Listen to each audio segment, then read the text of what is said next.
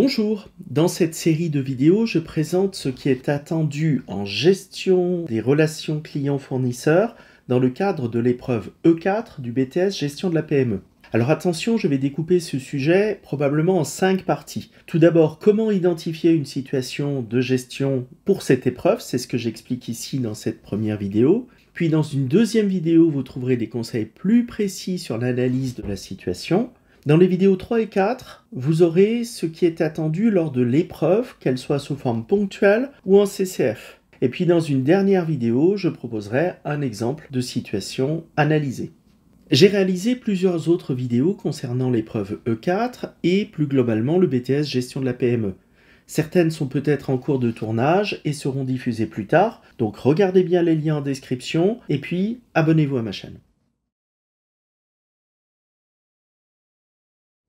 Alors, l'épreuve 4 valide le domaine de compétences professionnelles numéro 1, c'est-à-dire la gestion des relations avec les clients et les fournisseurs de la PME, ce qui constitue une grosse partie du programme de BTS, en particulier en première année.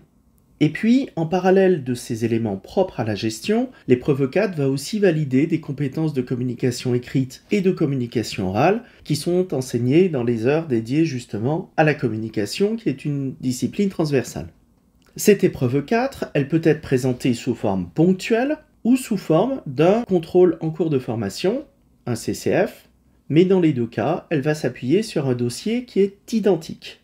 Tous les éléments concernant le dossier et concernant l'épreuve se retrouvent au sein du référentiel de certification du BTS, et on peut trouver différents éléments complémentaires relatifs à l'épreuve dans la circulaire nationale d'organisation de BTS qui est publiée chaque année, en particulier des consignes, des modèles de fiches à rendre et des aides à l'évaluation.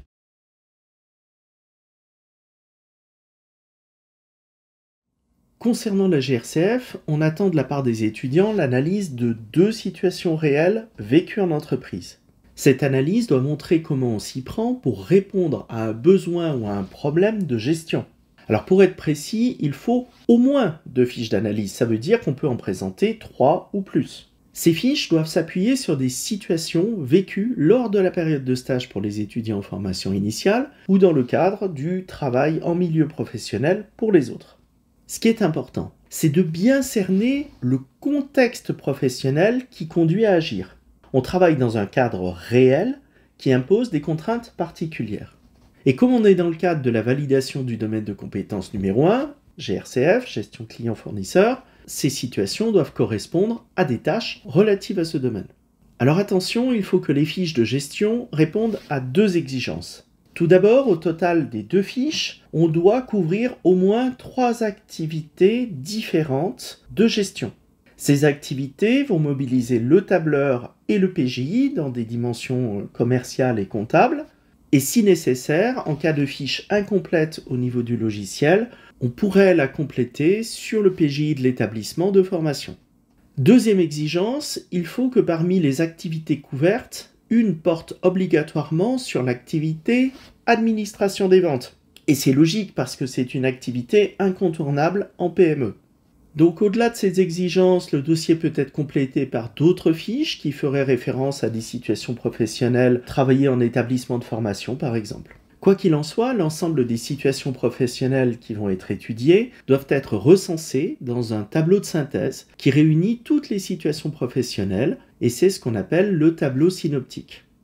Le tableau synoptique va également inclure les situations professionnelles traitées en établissement de formation et qui permettront, dans le cadre du CCF, d'évaluer la situation A.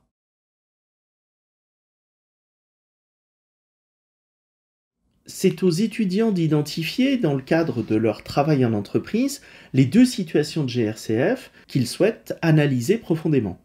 Ils doivent choisir des situations différentes pour montrer l'étendue des compétences qu'ils maîtrisent, en couvrant bien au total trois activités de gestion au minimum. De plus, une situation n'est pas une tâche isolée, il s'agit de l'ensemble des actions que l'on va mettre en œuvre pour répondre à un problème de gestion. Par exemple, quand on se positionne en gestion des ventes, la facturation n'est qu'une étape, qui a commencé par le devis, puis la commande et la livraison. La situation de GRCF va donc regrouper toutes ces actions dans un seul ensemble intégré. il faut absolument ajouter à la fiche d'analyse une copie des productions réalisées pour qu'on puisse voir concrètement quel est le résultat final. On attend donc des documents de gestion, des devis, bons de livraison ou des copies d'écran du PGI. Et puis dernier rappel, il faut que ces activités incluent la manipulation avancée de logiciels appropriés, à savoir le tableur et le PGI.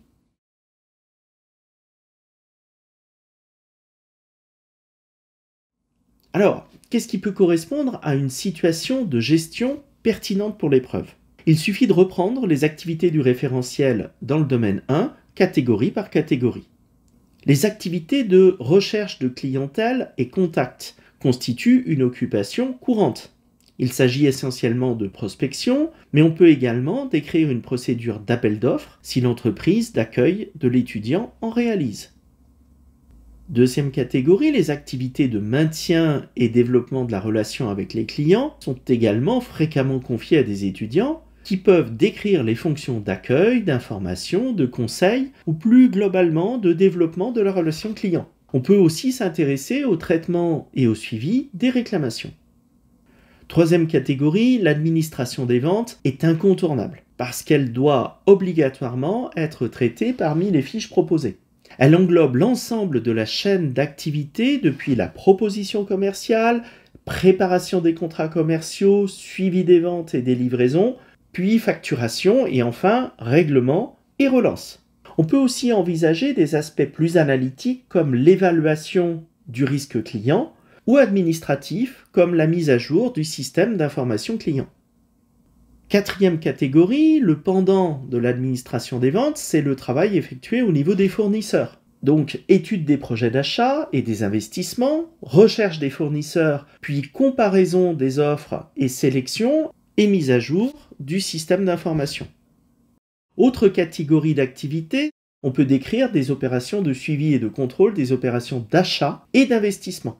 Négociation des contrats, passation et suivi des commandes, contrôle des achats, règlement, acquisition, suivi des immobilisations et évaluation des fournisseurs. Enfin, dernière catégorie, celle de suivi comptable des opérations avec les clients et les fournisseurs. Elle découle de l'administration des ventes et des achats. Elle concerne en premier lieu le contrôle des enregistrements comptables qui sont liés et le suivi de la trésorerie des comptes de tiers, des encaissements, des décaissements. Plus globalement, on peut s'intéresser au suivi des relations avec les banques, à la préparation et au contrôle de la déclaration de TVA, et le cas échéant aux spécificités des échanges internationaux, en particulier l'évaluation et le suivi des risques qui y sont propres.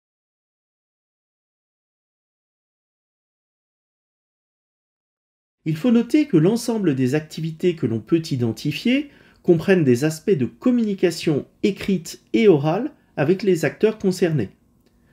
Quand on s'intéresse au processus global, on décrit une situation de gestion. Mais cette même activité peut être la source également d'une fiche d'analyse de communication écrite quand on analyse un document en particulier ou de communication orale quand on analyse un échange lié à l'activité. Maintenant que vous savez précisément ce qui est attendu comme situation de GRCF à l'épreuve 4 du BTS Gestion de la PME, eh bien je vous invite à visionner la vidéo suivante qui explique comment réaliser l'analyse d'une telle situation.